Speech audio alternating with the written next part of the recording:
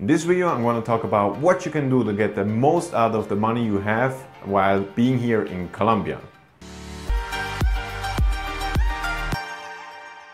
Welcome to How to Expat. My name is Sam and on How to Expat we help expats relocate. And in this video I'm going to talk about how to get the most bang for your buck here in Colombia. I will talk about a couple of tips you need to know. First of all, this video is more for a, a shorter term stay uh, compared to a longer term, uh, term stay. Uh, if you're here for a, a, a, longer period of time, we have other tips we covered in our Medellin e-guide. If you want to find out more about our Medellin e-guide, uh, the link is in the description down below. So let's start with the first point. So if you're here for a short period of time, you probably don't want to cook too much because you want to make the most out of the time you have. Uh, so you, that means you're probably going to eat out a lot. And the thing I found, which is kind of strange, is when you're in a new area and you're walking around uh, and you, yeah, you just know you're hungry and you want to go somewhere. Most probably the thing that attracts you the most to the restaurant or bar or whatever that, that attracts you the most is most probably there where you have to spend more money. And I don't know why that is, it's just because probably foreigners tend to like places that are quiet or organized, it looks nice from the inside and just my experience shows that these places tend to be way more uh, way more expensive yeah, than, than places that you're not attracted. So uh, let's say just a, a nice little corner restaurant with plastic chairs and stuff like that. These places tend to be really gems if you're on a budget, so make sure to think about that, not being not trying to be attracted to a place, but really figuring out, okay, I think that place could be a real budget option that's gonna save you around 50% just on dining and eating out uh, in general. Then let's stay with food. Um, one great thing in Colombia you can find is the Menú del Día, or it's also called Menú Ejecutivo, or yeah, you have different names. But in, in every city of Medellin or in every place, place on, on in Colombia, you have that. And the real cool thing about that is very, very inexpensive. So we already talked about that in our cost of living video. Um, yeah, it's not untypical to get something for 8,000 uh, Colombian pesos, pesos, which is around $2.50 for a juice, a soup and a great meal. So make sure if you're on a budget to try to find spots which offer the true Colombian menu del dia. Then rent. If you really want to save on costs, you most probably the best idea surely is to get a room instead of an apartment. And you can get a room in, in Colombia in the cities, let's say for 150 US dollars and up. So it's very, very inexpensive to stay here if you know how to do it. A great tip, I talked about how to get a room in or how to get a room video is use Comparto Apto. If you want to find out more about that, the video is the link down below. Uh, so yeah, I'm gonna show you how you can use that to get a room as low as 150 US dollars a month.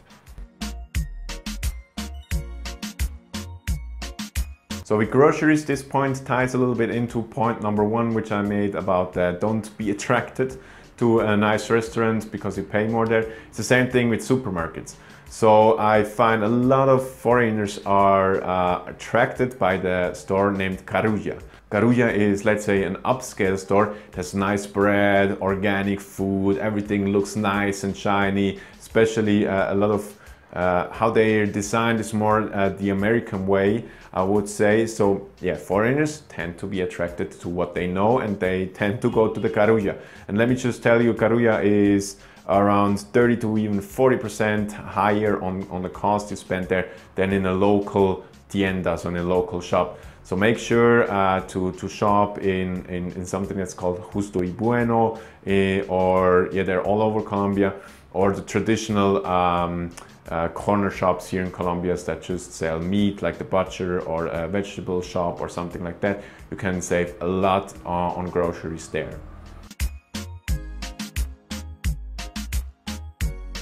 If you're not just here for a short period of time, but a long period of time, and you want to make the most out of the time you have, you maybe have a little savings and you want to just expand the time frame you have, a great thing is to get uh, either earn some money on the side or volunteer.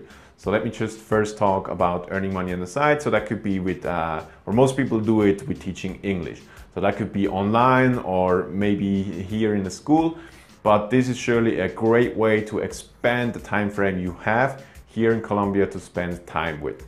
What we did to save as much money as we can or to extend the time frame as much as we could was volunteering. There's a great website uh, which is called um, Workaway uh, the link is in the description down below, where you can trade uh, your labor, let's say, uh, for accommodation. So what we did in South America is working for hostels, taking care of dogs, whatever. And yeah, you can, at times we, we, we spent no money at all per day we spent in, in, in this place. So a lot of backpackers talk about uh, spending 20, 30 bucks uh, uh, a day, and we spent literally, literally zero dollars a day. This was really great. Uh, you can do that. There's some cool options out there. Uh, in Costa Rica, for example, saving turtles, or in Ecuador, we took care of dogs, or yeah, many, many different options are out there. I highly recommend uh, using Workaway if you're more the adventurous type and really want to make the most out of your trip in Latin America or Colombia.